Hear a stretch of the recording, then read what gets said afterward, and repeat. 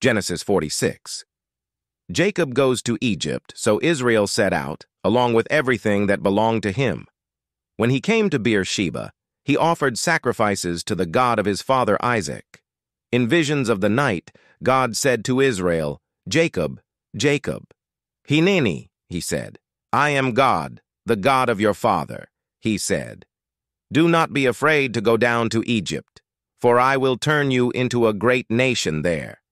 I myself will go down with you to Egypt, and I myself will also most certainly bring you up.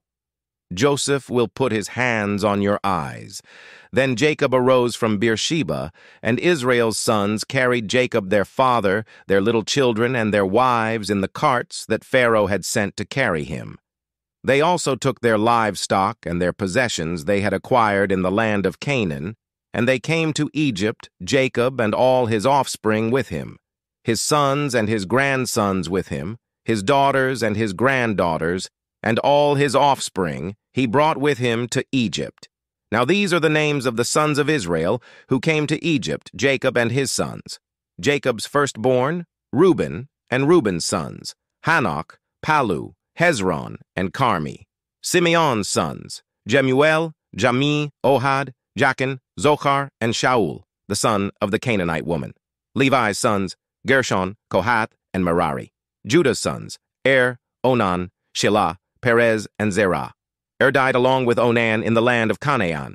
Perez's sons were Hezron and Hamul.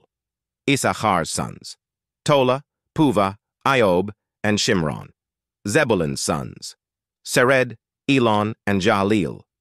These are Leah's sons, whom she bore to Jacob in Padan Aram, along with his daughter Dinah.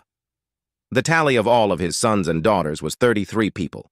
Gad's sons, Ziphion, Hagi, Shuni, Esbon, Eri, Arodi, and Areli.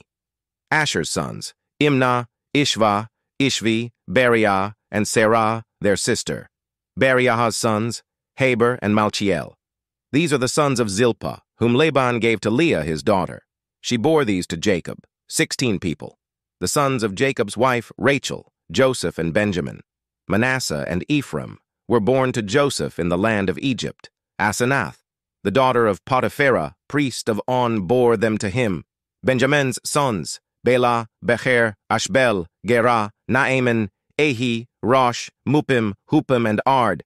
These are Rachel's sons who were born to Jacob. The tally of all the people was fourteen. The sons of Dan, Hushim Naphtali's sons, Yakzeel, Guni, Yezer, and Shillim. These are the sons of Bilhah, whom Laban gave to Rachel his daughter, and she bore these to Jacob. The tally of all the people was seven. All the people belonging to Jacob who came to Egypt, those coming from his loins, not counting the wives of Jacob's sons, the tally of all the people was 66. The sons of Joseph who were born to him in Egypt was a tally of two people. The tally of all the people belonging to Jacob's house who came to Egypt was 70. Now he sent Judah before him to Joseph to show him the way to Goshen. When they came to the land of Goshen, Joseph harnessed his chariot and went up to Goshen to meet his father Israel. As soon as he appeared before him, he fell upon his neck and wept on his neck for some time. Then Israel said to Joseph, At this time I am ready to die, after seeing your face in person, for you're still alive. Then Joseph said to his brothers and to his father's household, I'll go up and tell Pharaoh and say to him, My brothers and my father's household who were in the land of Canaan have come to me. The men are shepherds, for they've been men who handle livestock, who have brought their flocks and cattle and everything that they possess. So when Pharaoh calls you and says, What is your occupation?